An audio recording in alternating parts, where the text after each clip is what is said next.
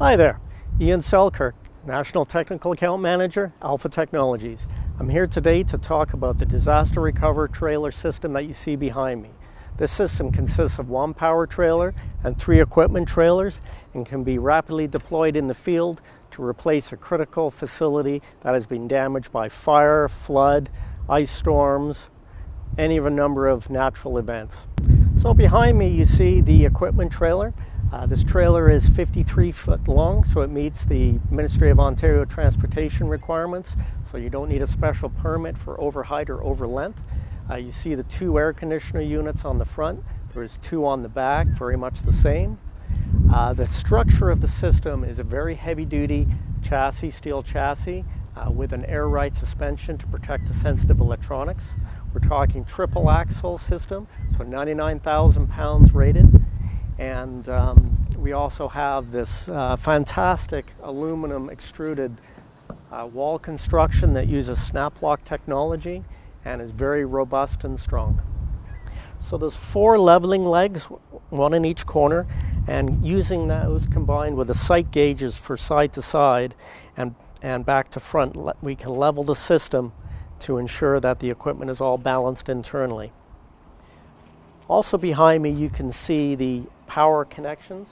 So this is the equipment trailer. So these would be connections from the equipment trailer over to the power trailer, an 800 amp 208 volt service. So behind me you can see the first of the three axles and the air suspension there protecting those sensitive electronics again. We don't want any damage in transport. So the power trailer and the three equipment trailers include a number of underfloor compartments for storage of power cables, fiber optic cables, and any other equipment that needs to be kept with the trailer at all times. So this is the power trailer. It's 51 feet long. It's using fan cooling rather than HVAC, so it's uh, much more cost effective to run. Uses the same running gear, uh, except that we're using twin axle instead of triple axle, so it gives it a 79,000 pound rating. Same heavy duty chassis, same aluminum extruded snap lock construction. So these are the AC connections going from the power trailer over to the equipment trailer. 800 amp, 208 volt cam lock connection. So this is the power trailer. So inside the power trailer we have the um, incoming main switchboard. This is 1200 amps, 600 volt. It goes from there to the uh, 500 kVA transformer in the back we have some automatic transfer switches to select between one of two generators. And uh, we also have the AC distribution cabinet beside me here. And from here, we feed those cam lock panels and connect to the equipment trailers. So in the power trailer, we have alarming, communications, just like we do in the equipment trailers. We're using the TLAN system for that. Behind me, you see the exhaust fans that are used to vent hot air out of the box. But again, we're not running HVAC and wasting money. So behind me, we see the stairs, how they neatly stow away inside the trailer for transportation. So each of the trailers, power and equipment, are equipped with security cameras, as well as emergency lighting systems for safety. So this is the equipment trailer. So let me take you through the power flow in the equipment trailer. Power comes into the AC distribution panel and from there is fed to the DC power system and the AC inverter system. So this is the AC inverter system. Uh, this is using the AMPS 24 20, 24 kVA system, 12240 volt output consisting of 16 1.5 kVA inverters. So it'll provide backup for critical equipment that has an AC input requirement. So this is the Cordex CXPS D2500 amp 48 volt power system, 120 kilowatt, consisting of 30 4 kilowatt rectifiers.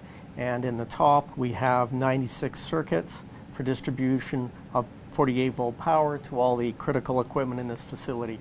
Door mount controller with the Cordex controller featuring SNMP, web server, battery monitoring, a very advanced controller.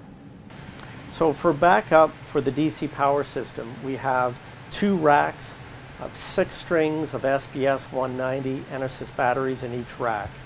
Uh, this will give us approximately 45 minutes of runtime at full design load of 97 kilowatts and almost two hours at the current load level of 50 kilowatts. So each of the strings of batteries has its own dedicated 250 amp circuit breaker to allow disconnect for easy serviceability. And we also have temperature probes for monitoring the temperature of the batteries and ensuring correct float voltage under all conditions. So on the wall beside me we have a small AC circuit breaker panel for distributing non-critical loads and behind me we have the inlet and, and outlet of the 6-ton BARD HVAC units. So behind me you'll see the cable trays that are used for the power cables, communication cables, alarm cables, also the yellow fiber tray to uh, house the fiber optic cables. So on the wall beside me we have the ver very early smoke detection apparatus system, uh, the Honeywell uh, fire detection system, as well as a standard master ground bar for the facility. Uh, so this is the AC panel for distributing the power coming out of the inverter system. So this is critical AC.